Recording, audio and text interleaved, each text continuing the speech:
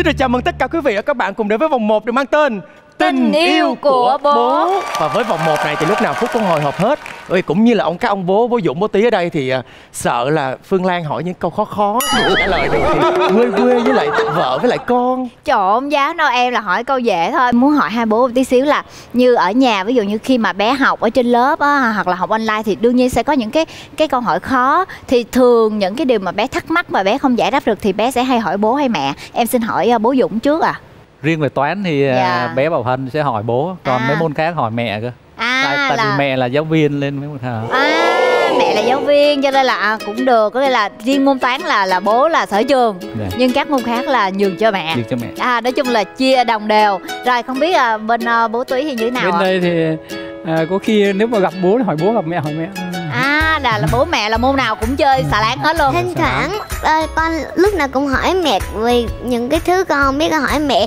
Mà khi mà mẹ con bận thì con mới hỏi bà. à vậy thì à, cho cô Lan hỏi là nếu như mà đi ăn uống ở ngoài thì thường á tới lúc tính tiền thì con hỏi bố hay hỏi mẹ tính à? Dạ, hỏi mẹ. hỏi mẹ tính. à, bố tính bố tính rồi còn bên đây của con? Dạ là thường xuyên là bố hay tính lắm. À, vậy thì sẵn đây ở đây hai bên đều là bố hết Vậy thì bố với mẹ ai hay cho tụi con tiền ăn quà vặt? Con thích cả hai luôn. À con thích cả hai luôn hả? Ngọc Hân thì nói cả hai còn Bảo Hân thì sao Có hơn là bố bố cho hay là mẹ cho? Dạ là không ai hết. Ủa, là là bố mẹ tự mua cho con Dạ. là mua à, là con thích ăn cái gì con nói là bố mẹ mua cho con Dạ. à nói chung là cũng chu toàn hết đó rồi tiếp theo thì à, cái cái câu này thì em nghĩ là thường à, gia đình này em cũng sẽ hay hỏi không biết là cảm giác của hai bố á, khi mà lần đầu vợ của mình à, sanh á, thì không biết là cảm giác của hai bố như thế nào. À, bố em mời bố Dũng mới chia sẻ.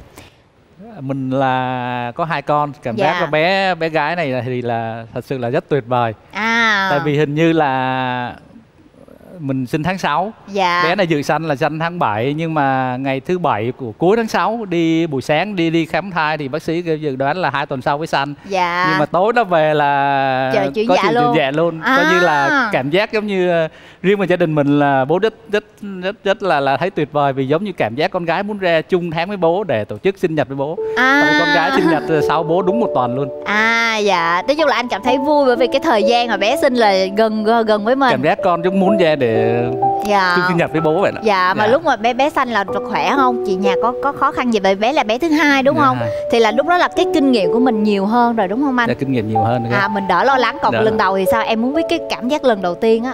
lần đầu ờ, cực kỳ bỡ ngỡ tại Bối- vì rối. dắt và và mình sanh ở từ dũ á Dạ. chẳng hiểu gì cứ việc chờ tới tối cũng chẳng biết cứ nhìn lên cái bảng mà Dạ. chẳng thấy tên vợ ở đâu thì cứ xong cứ vô hỏi bác y, y tế hoặc là bác sĩ kêu cứ ngồi chờ cứ vậy thôi Cho em hỏi tới cái khoảnh khắc mà khi mà biết bác sĩ báo là bé đã sanh à, mẹ tròn con vuông lúc đó anh như thế nào? cái lần đầu á Dạ, lần đầu. Em hỏi lần đầu à. chắc là phải xin lỗi con trai lần đầu là tại vì chờ tới 10 giờ như ngủ quên luôn đó buổi sáng chiều cứ nằm cái phòng chờ một cái màn hình đó là ngủ quên luôn trong tất cả các số mà em hỏi thì đây là cái số đầu tiên tại vì em thấy là có rất một số trường hợp bạn bè của vậy ông bố rất là sốt sắng sốt sắng dữ lắm.